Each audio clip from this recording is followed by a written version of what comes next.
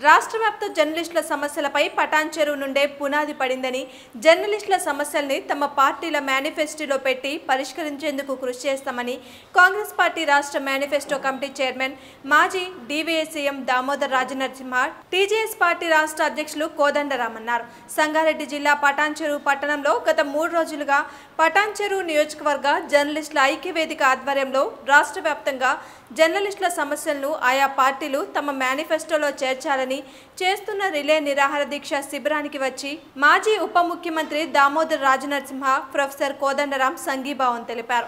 రాష్ట్ర అధిష్టానం ఈ సమస్యలు పరిష్కరించే విధంగా చర్యలు జరుగుతున్నాయని అన్నారు. వచ్చేది కాంగ్రెస్ ప్రభుత్వం. త్వరలోనే మేనిఫెస్టో విడుదల చేస్తామని దామోదర రాజనరసింహ టీజేఎస్ పార్టీ రాష్ట్ర అధ్యక్షులు కోదండరాం సంఘీభావం వ్యక్తం చేశారు. అనంతరం నిమ్మరసం ఇచ్చి దీక్షను విరమింపచేశారు. అనంతరం ఆయన మాట్లాడుతూ గత ప్రభుత్వాలు కానీ ప్రస్తుత ప్రభుత్వాలు కానీ జర్నలిస్టుల సమస్యలే కాదు ప్రజల సమస్యలు కూడా పట్టించుకోలేదని ఆయన విమర్శించారు. ప్రభుత్వం ఇచ్చిన హామీలు హామీలుగానే మిగిలిపోయాయని మహా కూటమి అధికారంలోకి వస్తే రాష్ట్ర వ్యాప్త జర్నలిస్టులు ఎదుర్కొంటున్న కనీస వేతన చట్టం పరిధిలోకి తీసుకొస్తామని అదేవిధంగా ఉద్యోగ భద్రత నియోజక స్థాయి జర్నలిస్టులకు ఇళ్ళ స్థలాలు కల్పించేందుకు కృషి చేస్తామని ఆయన తెలిపారు.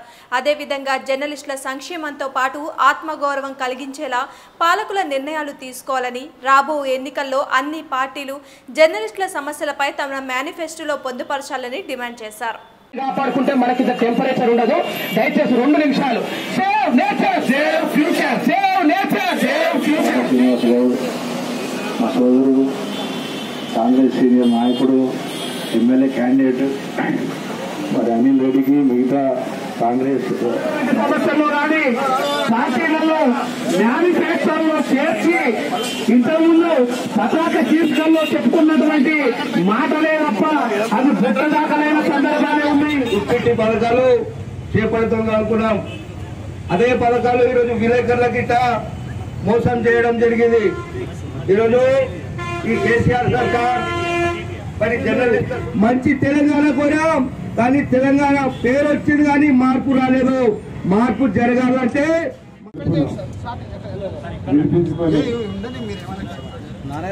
ఉండే వదిలి మా గురించి పటాంచెరు దాకా వచ్చి జర్నలిస్టులకు మీరు మేము వెనుకున్నాము అంటూ నమ్మకం కల్పించినందుకు నిజంగా చాలా ఆనందంగా ఉంది సార్ జర్నలిస్టుల ఐక్యత ఐక్యత తప్పకుండా టీజేఎస్ పార్టీ ద్వారా కూడా జర్నలిస్టులకు సంబంధించిన ప్రధాన డిమాండ్ ఏదైతే పటంచెరు రిపోర్టర్ల ద్వారా రాష్ట్ర వ్యాప్తంగా రావాలని కోరుకుంటున్నామో ఏదైతే ఉద్యోగ భద్రత కోరుకుంటున్నామో ఈ విషయంలో తప్పకుండా మీ సహాయ సహకారాలు నమ్ముతున్నాం సార్.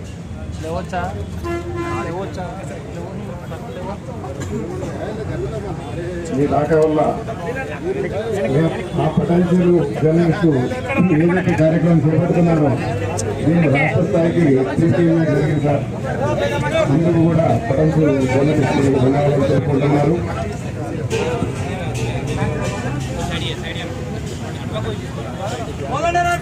జర్నలిస్టుల ఐక్యత